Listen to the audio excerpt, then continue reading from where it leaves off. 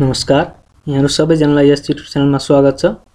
आज पनि म एउटा नयाँ भिडियोको साथमा तपाईँहरूको माझ उपस्थित भइसकेको छु। आजको यस भिडियोमा भने मैले आज तपाईँहरूले कमेन्ट गर्नुभएको स्टकहरूको एनालाइसिस लिएर आएको छु। तपाईँहरूले यहाँ जुन हिजोको भिडियोमा मैले तपाईँहरूले स्टकहरू कमेन्ट गर्न सक्नुहुन्छ र मैले स्टक एनालाइसिस लिएर आउने प्रयास गरेछु गर्नु गर्नेछु भनेको थिएँ। त्यसै अनुरूप आज भने मैले तपाईँहरूले कमेन्ट गर्नुभएको स्टकहरूको एनालाइसिस लिएर आएको छु। यहाँ अब धेरैजनाले धेरै स्टक कमेन्ट गर्नुभएको छ। धेरै हदसम्म चाहिँ मैले एनालाइसिस गर्ने प्रयास गर्नेछु। के कति भ्याइन्छ है त? र आज छुटेको म भोलि पनि लिएर आउनेछु र अरू स्टकहरू पनि कमेन्ट गर्नु होला आजको भिडियोमा। म भोलि लिएर आउने प्रयास गर्नेछु। साथै तपाईँ यस च्यानलमा नयाँ हुनुहुन्छ भने च्यानललाई सब्सक्राइब गर्नुहोला बेलायकनलाई थिच्नु होला जसले गर्दा मैले राखेको भिडियोको अपडेट तपाईँहरूले तुरुन्तै पाउनुहुनेछ। र नेप्सेको जुन यात्रा अब कस्तो हुनसक्छ अनि सेक्टरको एनालाइसिस मैले हिजोको भिडियोमा गरिसकेको छु त्यसैले त्यो भिडियो हेर्नुभएको छैन भने माथि आइआइकनमा छ त्यसबाट पनि तपाईँहरूले कुन सेक्टरको अवस्था कस्तो छ भन्ने कुरा चाहिँ तपाईँहरूले भिडियो हेरेर थाहा पाउन सक्नुहुनेछ। र केही सल्लाह सुझाव छ भने त्यो पनि कमेन्ट गर्नु होला ल अब भने हामी स्टकको एनालाइसिसतर्फै लागौँ। सुरुमा मैले लिएँ एनआइसिएल।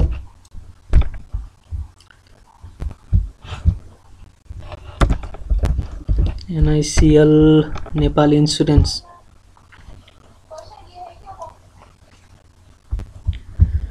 पछिल्लो समयमा लाइफ इन्सुरेन्स सेक्टरमा पनि राम्रै मुभ आएको देख्न सक्छौँ र यसमा पनि राम्रै मुभ आएको छ। जो जति पनि अब तल्लो एरियामा किन्नु भएको थियो उहाँहरूलाई त प्रफिट बुक गर्ने बेला भइसकेको छ। केही प्रफिट बुक गर्दै पनि जान सकिनेछ र यदि राम्रो प्रफिट छ भने र अर्को इन्ट्रीको लागि भने अझै केही कुर्नु पर्ने हुनसक्छ। किनभने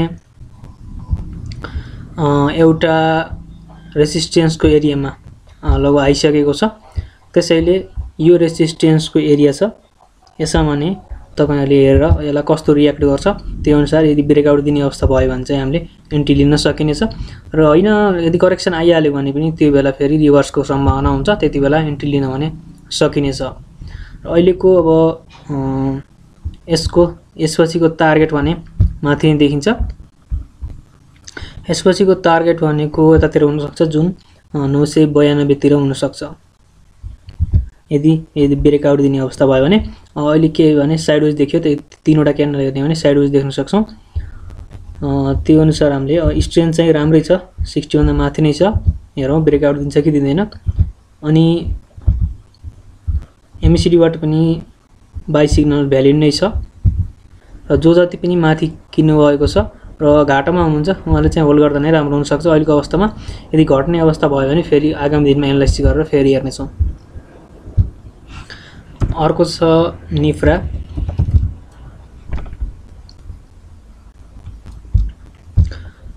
निफ्रा हेर्ने भने अहिलेको अवस्थामा राम्रै बढेर गएको देखियो। अहिले तिन सय बयानब्बेमा क्लो क्लोज भएको छ।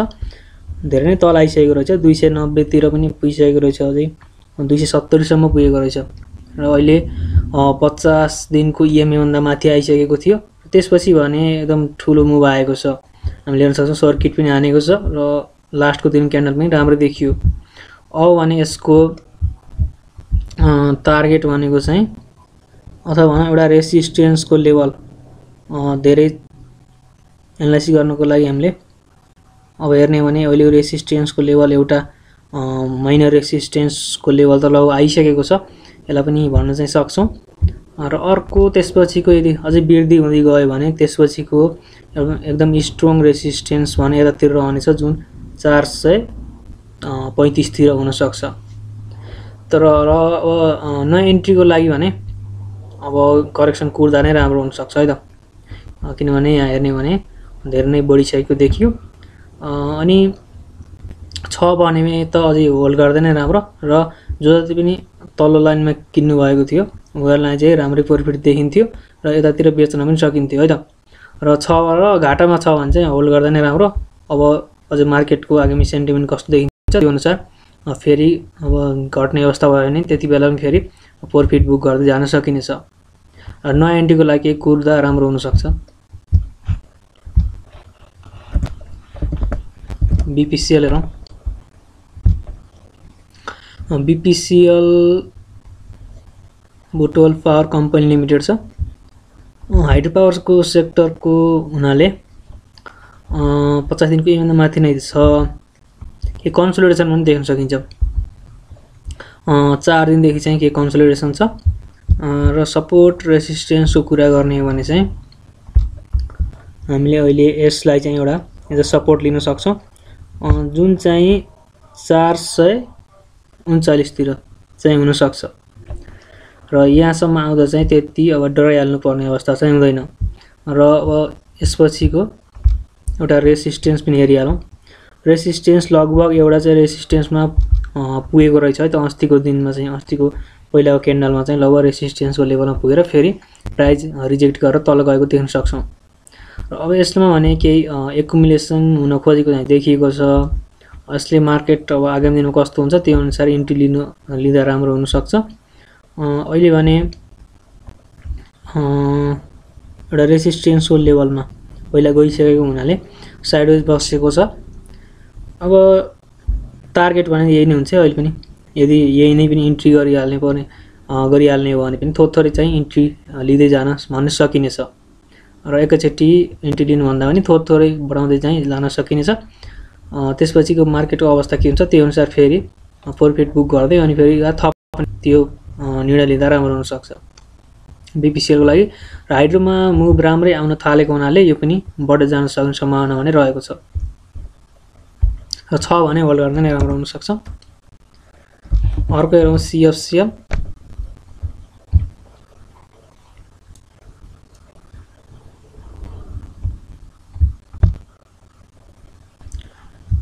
र सिएफसिएल हेर्ने भने चार्ट प्याटर्न राम्रै देखियो है त। अहिलेको अवस्थामा भन्ने भने एउटा ब्रेकआउट दिएर माथि गएको छ जुन एउटा रेसिस्टेन्सको लेभल यहाँ थियो एउटा स्ट्रङ ब्रेकआउट दिएर फेरि टेस्ट गरेर अनि फेरि माथितिर बढ्न खोजेको जस्तो देखिन्छ। यसमा हेर्ने भने अहिले अब केही पर्सेन्ट चाहिँ इन्ट्री लिन सकिने जस्तो देखिएको छ। कम्पनी राम्रो छ फन्डामेन्टली पनि स्ट्रङ छ। र त्यसपछिको अब अहिलेको रेसिस्टेन्स इमिडिएट रेसिस्टेन्स भने पाँच सय अडसट्ठी सत्तरीतिर हुनसक्छ।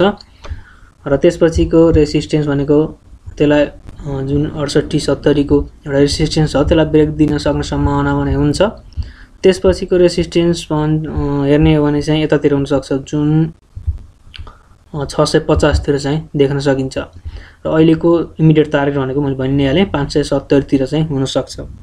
र अब इन्ट्री लिँदा त्यही केही पर्सेन्टमा इन्ट्री लिन सकिनेछ। प्याटर्न हेर्ने भने राम्रै देखिएको छ। भर्खर ब्रेकआउट दिएर अनि फेरि टेस्ट गरेर माथितिर जान खोजेको जस्तो देखिन्छ। आरएसआई लेभल हेर्ने भने पनि अहिले सिक्सटी फाइभको एरियामा छ। एमएससिडीले पनि भ्यालिड नै छ। बाइकको लागि भ्यालिड नै छ। र बिस्तारै अब भोल्युम हेर्नुहुन्छ भने भोल्युम पनि राम्रै आइरहेको छ। बढ्ने क्रममा भोल्युम राम्रो आउनु भनेको यो राम्रो ट्रेन्ड आउन सक्ने सम्भावना देखिन्छ। र छ भने होल्ड गर्दा नि राम्रो। अर्को हेरौँ एनजिपिएल।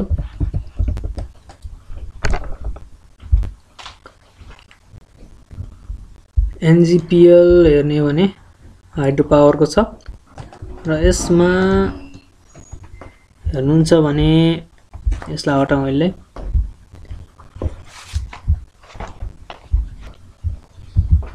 चार्ट हेर्ने भने राम्रो देखिएको छ। पचास दिनको इएमआईभन्दा क्यान्डलहरू माथि बस्न बसिरहेको छ। लास्टको दिनमा चाहिँ राम्रो बढेर गएको देखिन्छ हाइड्रो सेक्टरहरू पनि। त्यसैले अब यसमा चाहिँ तपाईँहरूले वाच लिस्टमा राख्दा राम्रो हुनसक्छ। एनजिपिएल पनि राम्रो बढेर जान सक्ने सम्भावना भने रहन्छ। केही पर्सेन्ट बाई गर्दै जान पनि सकिनेछ यसमा पनि। राम्रो देखेको छ। चार्ट प्याटर्न हेर्ने हो भने। यसको अब रेसिस्टेन्सको लेभलहरू हेर्ने हो भने चाहिँ अहिलेको लागि तुरुन्तै भने एउटा यतातिर हुनसक्छ यो एरियातिर हुनसक्छ सात सय चौरानब्बे पन्चानब्बेतिर अनि त्यसपछिको भने आठ सय लगभग पचासतिर चाहिँ अर्को रेसिस्टेन्स हुनसक्छ अथवा टार्गेट हुनसक्छ। र सपोर्ट हेर्ने हो भने यसलाई चाहिँ हामीले एउटा सपोर्टको रूपमा लिन सक्छौँ। यहाँबाट बढ्न थालेको थियो कन्सोलिडेसन भएर त्यसैले छ सय पचासीतिर चाहिँ एउटा सपोर्ट एरिया हुनसक्छ एनजिपिएलको लागि। छ भने होल्ड गर्दा नै राम्रो र स र किन्नको लागि चाहिँ केही पर्सेन्ट इन्ट्री लिँदा चाहिँ सकिनेछ। यसमा पनि त्यही भयो त। छ भने होल्ड गर्दा नै राम्रो। अनि अर्को हेरौँ Shine.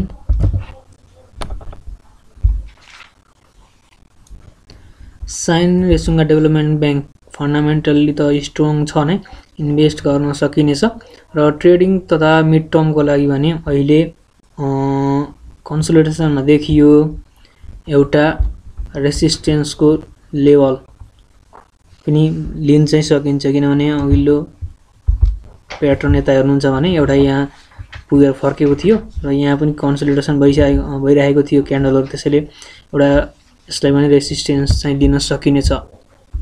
र त्यसपछिको यदि बढ्ने अवस्था भयो भने अथवा ब्रेकआउट दियो भने यसमा चाहिँ चार सय नब्बेसम्मको चाहिँ एउटा टार्गेट लिन सकिन्छ। र सपोर्ट हेर्ने हो भने चाहिँ एउटा स्ट्रङ सपोर्ट चाहिँ यतातिर देख्न सकिन्छ है त? जुन चार सय तिसतिर हामीले पाउन सक्छौँ। चार सय तिसतिर चाहिँ एउटा राम्रो सपोर्ट देखिएको छ।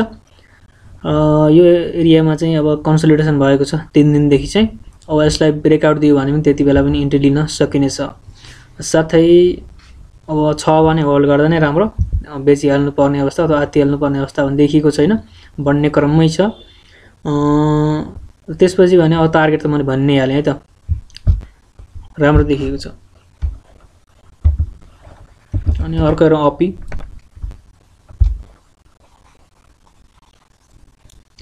अपीमा हाइड्रो पावर सेक्टर छ। अहिले भने एउटा रेसिस्टेन्सको लेभलमा चाहिँ आइसकेको छ। धेरै जसो हाइड्रोहरू एउटा रेसिस्टेन्सको लेभलमा आएको देख्न सकिएको छ। त्यसैले अब केही वेट गर्दा चाहिँ राम्रो हुनसक्छ। र छ भने तल्लो एरियामा किनेको राम्रो प्रफिट छ भने केही पर्सेन्ट प्रफिट बुक गर्दै पनि लान सक्नुहुनेछ। यहाँ कस्तो रियाक्ट गर्छ? घट्छ या यहाँ ब्रेक ब्रेकआउट दिन्छ? त्यो अनुसार चाहिँ फेरि बाइकको लागि हेरिनेछ। अहिले भने बाइकको लागि अब ब्रेकआउट या रिभर्स चाहिँ कुर्नुपर्ने हुनसक्छ।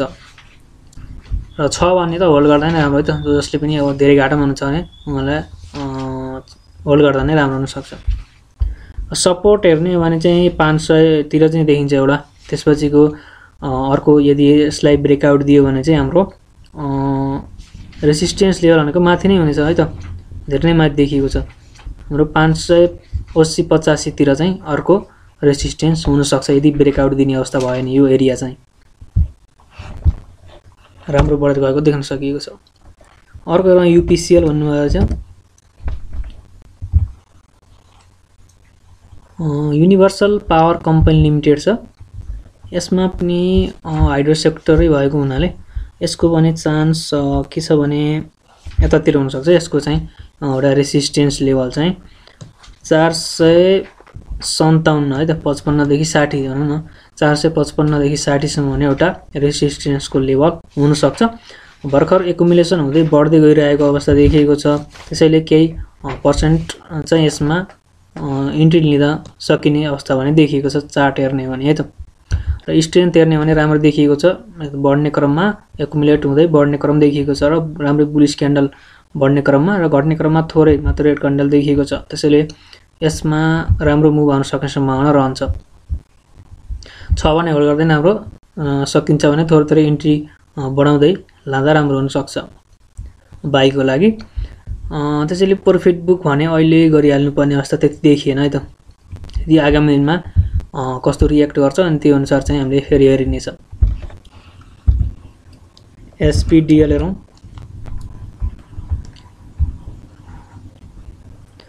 एसपिडिएल पनि हाइड्रो पावर नै छ. यो पनि एउटा के रेसिस्टेन्स लेभलमा चाहिँ खेलिरहेको देख्न सक्छौँ। कन्सोलिडेसन नै देखिएको छ।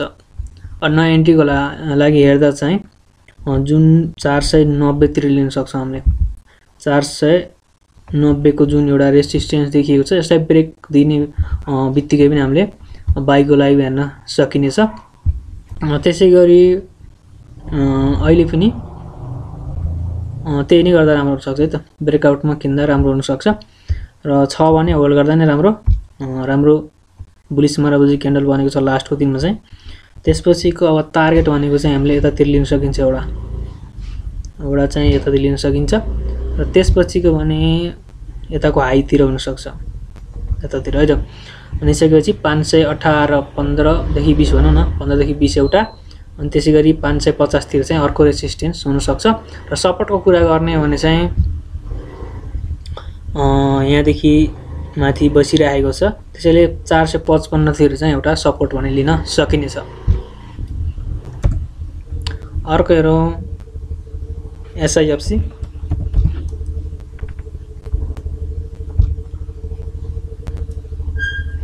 एसआइएफसी हेर्ने हो भने चाहिँ ल अहिले हटाऊ। एसआइएफसी जुन फाइनेन्स छ श्री इन्भेस्टमेन्ट फाइनेन्स रहेछ। यो पनि धेरै नै राम्रो बढेर गएको देखियो है त। लास्टको दिनमा पनि बुलिस मरबुजो क्यान्डल देखिन्छ। एउटा रेसिस्टेन्स लेभल लगभग चाहिँ एउटा माइनर रेसिस्टेन्स चाहिँ आइसकेको छ।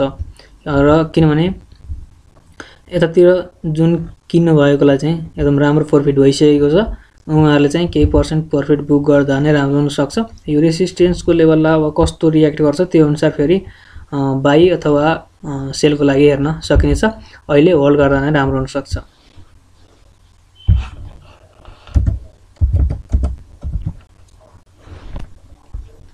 एएचपिसी पनि हेरिहालौँ।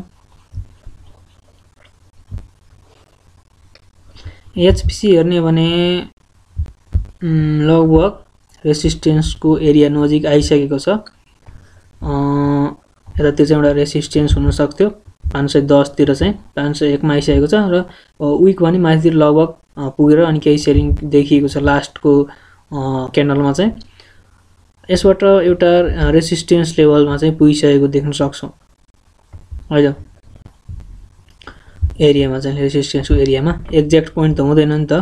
त्यसैले योदेखि योसम्म चाहिँ दसदेखि हाम्रो बिससम्म चाहिँ एउटा हामीले रेसिस्टेन्सको एरिया चाहिँ लिन सक्थ्यौँ। त्यसैले अब यहाँ कस्तो रियाक्ट गर्छ मार्केटले है त? केही एकुमुलेट भन्ने हुन खोजेको देखिन्छ र बढ्न सक्ने सम्भावना चाहिँ बढी नै छ। समग्रमा हेऱ्यो भने राम्रो देखिएको छ। नयाँ एन्ट्रीको लागि पनि अब यदि क्यान्डलहरू जस्तो यो एउटा सपोर्ट लिन सकिन्छ। चार सय पचहत्तरभन्दा माथितिर नै बसिराख्यो भने चाहिँ त्यति बेला इन्ट्री लिन भने सकिनेछ है त? राम्रै बढेर जान सक्ने सम्भावना देखिएको छ। त्यस्तो नेगेटिभ भइहाल्नुपर्ने अवस्था भने देखिएको छैन। अर्को छ एमएलबिएल हेरौँ। महालक्ष्मी विकास ब्याङ्क छ। यसमा हेर्ने भने चाहिँ एउटा यो जुन एरिया छ यसलाई माथितिर चाहिँ ब्रेक दिन खोजेको चाहिँ देखिएको छ। र अहिले किन्नको लागि चाहिँ अब के भन्दा यसलाई ब्रेक दिएपछि किन्दा पनि हुन्छ है। त्यति आत्तिहाल्नु पर्ने अवस्था छैन त्यति धेरै नै महँगो पनि भइसकेको अवस्था छैन। र राम्रो ब्याङ्क छ। र त्यसपछिको टार्गेट भने धेरै नै माथि देखिन्छ है। यतातिर चाहिँ हुनसक्छ एउटा टार्गेट चाहिँ। जुन चाहिँ छ सय पच्चिसदेखि तिससम्म चाहिँ एउटा टार्गेट हुनसक्छ। यता ब्रेकआउट दियो भने राम्रै मुभ आउन सक्ने सम्भावना अथवा प्रफिट हुन सक्ने सम्भावना देखिएको छ। हेरौँ कस्तो अब देखिन्छ आउँदो दिनको मार्केट त्यही अनुसार डिसिजन लिँदा रा राम्रो हुनसक्छ। र अर्को अब सपोर्टको कुरा गर्ने भने चाहिँ यतातिर हुनसक्छ है। जुन भनेको पाँच सयतिर चाहिँ हुनसक्छ। पाँच सयसम्म आयो भने चाहिँ त्यसपछि फेरि रिभर्स हुन सक्ने सम्भावना भइहाल्यो भने पनि त्यति बेला पनि लिन सकिनेछ र ब्रेकआउटमा पनि लिन सकिनेछ। छ भने होल्ड गर्दा नै राम्रो। अब किन बेच्ने है त यहाँ माथितिर त बेचिएन। अब अब बढ्ने क्रममा बेच्ने कुरै भएन होइन? थोरै घट्दैमा चाहिँ हात्तिहाल्नु पर्ने अवस्था हुँदैन। र ट्रेडिङको लागि पनि त्यही नै हो है त। इन्भेस्टर तथा ट्रेडिङ सबैको लागि चाहिँ अलिक ब्रेकआउट कुर्दाखेरि राम्रो हुनसक्छ। र इन्भेस्टरको लागि त अब जहिले पनि अपर्च्युनिटी नै छ है त। मार्केट धेरै घटिसकेको छ राम्रो फन्डामेन्टली स्ट्रङ कम्पनी हेरेर इन्भेस्ट गर्दा र केही वर्ष छोड्दा एकदमै राम्रो हुनसक्ने सम्भावना अहिले देखिएको छ। धेरै नै कम्पनीहरू राम्रो राम्रो कम्पनी पनि घटेका छन्। है त। त्यो हेरेर इन्भेस्ट गर्नु होला अर्को हेरौँ आइसिएफसी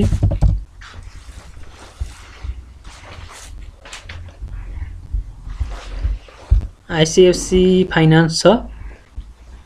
अब चार्ट प्याटर्न हेर्ने भने चाहिँ अहिलेको अवस्थामा लास्टको दिनमा धेरै नै बढेर गएको छ। आठ पोइन्ट पाँच पर्सेन्टको बुलिस मरोबोजु क्यान्डल देख्न सकिन्छ। र सपोर्ट रेसिस्टेन्सको कुरा गर्ने भने अहिले भर्खर चाहिँ अब एउटा जुन पचास दिनको इएमआईबाट चाहिँ माथितिर गएको छ। अनि त्यसै गरी सपोर्टको एरिया भनेको हामीले अहिलेलाई यो जुन बुलिस क्यान्डल छ यसलाई चाहिँ एउटा एज अ सपोर्ट लिन भने सकिन्छ इमिडिएट सपोर्टको लागि हेर्ने भने यसलाई चाहिँ एउटा छ सय अन्ठानब्बेतिरको सा चाहिँ एउटा सपोर्ट लिन सकिनेछ। र यसमा अब यसको टार्गेटहरू है त। यसको टार्गेट हेर्ने भने अहिलेको अवस्थामा अब आठ सय चालिसदेखि पैँतालिस भनौँ न। आठ सय चालिसदेखि पैँतालिससम्म भने एउटा टार्गेट देख्न सकिन्छ। त्यो टार्गेट आगामी दिनमा पुग्न सक्ने सम्भावना चाहिँ राम्रै छ। र अब नयाँ इन्ट्रीको लागि भने टार्गेट अब त्यो पुगिसकेपछि फेरि यहाँ ब्रेकआउट दिन थाल्यो भने पनि त्यति बेला इन्ट्री लिँदा राम्रो हुनसक्छ। र यदि यहाँबाट फेरि केही करेक्सन आयो भने त्यति रिभर्स हुन थाल्यो भने त्यति बेला पनि लिँदा राम्रो हुनसक्छ। र छ भने होल्ड गर्दा नै राम्रो है त। र आउँदो दिनमा यदि अब राम्रै प्रफिट हुन सक्ने सम्भावना देखियो भने त्यति बेला पनि फेरि केही पर्सेन्ट निस्किन भने सकिनेछ यदि तल्लो एरियामा किनेका जुन लगानीकर्ता हुनुहुन्छ उहाँहरूले चाहिँ। अर्को हेरौँ एसएडिबिएल।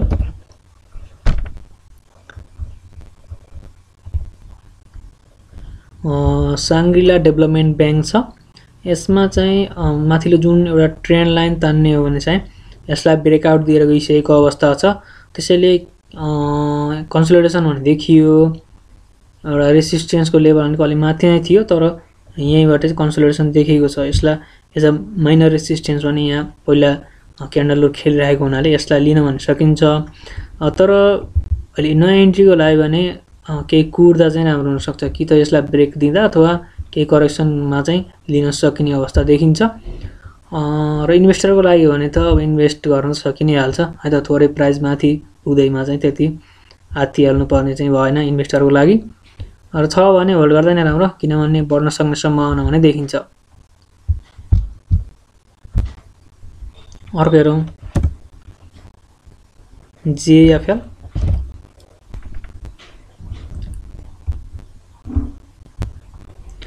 जानकी फाइनेन्स लिमिटेड छ। यसले बोनस बोनस पनि घोषणा गरिसकेको छ सायद।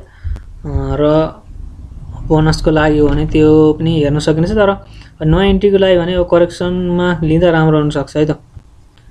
धेरै नै बढिसकेको छ। अब यहाँ तल्लो एरियामा किनेको चाहिँ केही कन्सल्टेसन भएको हुनाले र एउटा यो रेसिस्टेन्सको लेभल टेस्ट गरिसकेको हुनाले केही कन्सल्टेसन जान सक्ने सम्भावना देखेको छ अहिलेको अवस्थामा।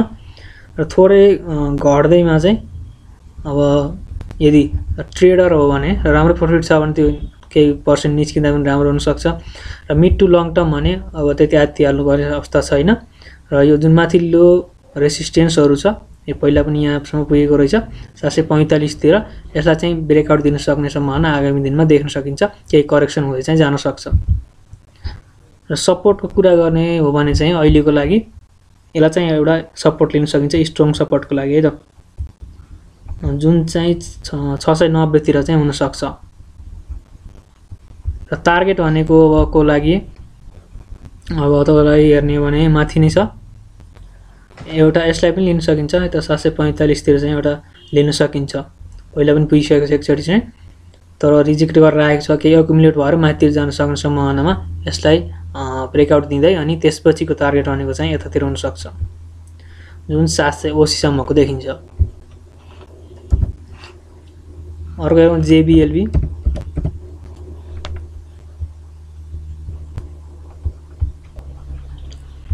जेबिएलबीको चार्ट हेर्ने भने पनि हाम्रो अब कन्सोलिडेसन नै देखिन्छ है त। धेरै समयदेखि नै कन्सोलिडेसन देखियो।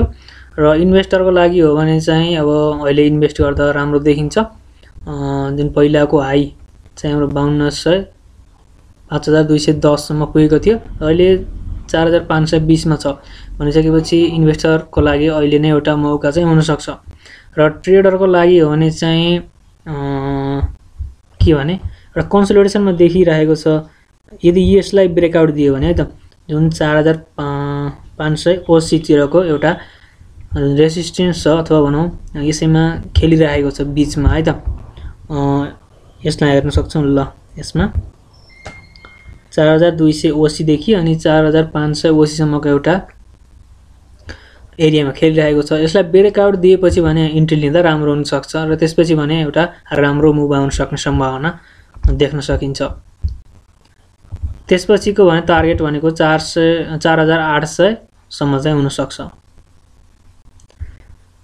हेर्ने भने त्यही नै देखियो र स्ट्रङ कम्पनी छ यसमा इन्भेस्ट गर्दा राम्रो हुनसक्छ।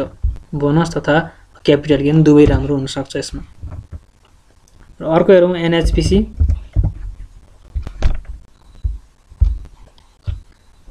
NHPC national hydro power छ।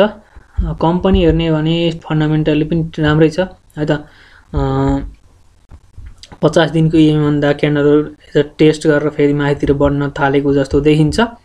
र यसमा चाहिँ हेर्ने भने रेसिस्ट सपोर्टको एरिया पहिला यसलाई नै हामीले एउटा रेसिस्टेन्सको एरिया भन्न सक्थ्यौँ भने अहिले सपोर्टको एरिया भन्न सकिन्छ। यसलाई टेस्ट गरेर माथितिर जान खोजेको जस्तो देखिएको छ।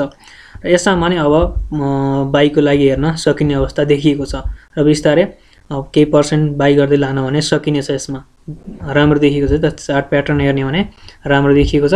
यसपछिको टार्गेट भनेको चाहिँ एउटा यतातिर हुनसक्छ। चार सय तिसतिर देख्न सक्छौँ। र त्यसपछिको भने टार्गेट भनेको माथि नै छ। लगभग चाहिँ चार सय साठी सत्तरीतिर चाहिँ अर्को टार्गेट हुनसक्छ। र अहिले बाइकको लागि हेर्न सकिने अवस्थामा एनएचपिसी देखियो। किनभने यहाँ ब्रेकआउट दिएर अनि फेरि टेस्ट गर्न आयो माथितिर जान खोजेको जस्तो देखिएको छ। ब्रेकआउटमा भोल्युम कस्तो देखिएको छ त्यो पनि हेरिहालौँ। भोल्युम राम्रो देखियो है त। एभरेज चाहिँ राम्रै छ। त्योभन्दा दुई तिन दिन अगाडि पनि राम्रो देखिएको छ। राम्रै बुलिस क्यान्डलहरू बनेको छ। त्यसैले यसमा केही पर्सेन्ट इन्ट्री लिँदा राम्रो हुनसक्छ र यो पनि हेर्ने भने सिक्सटीभन्दा माथि गइसकेको छ। सिक्सटी पोइन्ट फोर वान यसमा इन्ट्री लिने अवस्था चाहिँ यति बेला नै हो जस्तो लाग्छ है चाहिँ मलाई चाहिँ। र यहाँ भने कुराहरू चाहिँ शिक्षा दिने उद्देश्यले मात्र भनिएका कुराहरू हुन्। र ट्रेड लिँदा अथवा इन्भेस्ट गर्दा चाहिँ तपाईँहरूले आफ्नै अनुसन्धानमा चाहिँ रिसर्चमा चाहिँ तपाईँहरूले कम्पनीहरू छनौट गरेर ट्रेड गर्नु होला भन्न चाहन्छु। र यसमा हेर्ने भने बाइकको लागि एकदमै राम्रो देखिएको छ अहिलेको अवस्थामा। हाइड्रो पावरमा मुभ आउन सक्ने सम्भावना पनि समग्र सेक्टरमै देखिएको हुनाले यसमा पनि राम्रो मुभ आउन सक्ने सम्भावना देखिएको छ। ल साथीहरू आजको भिडियोमा यति नै छ। भोलि फेरि म स्टकहरूको एनालाइसिस लिएर आउनेछु। स्टकहरू कमेन्ट गर्नुहोला र भिडियो कस्तो लाग्यो मन पऱ्यो भने लाइक कमेन्ट सेयर गर्नुहोला र च्यानललाई सब्सक्राइब पनि गर्नुहोला। भोलि भेट्नेछु। धन्यवाद।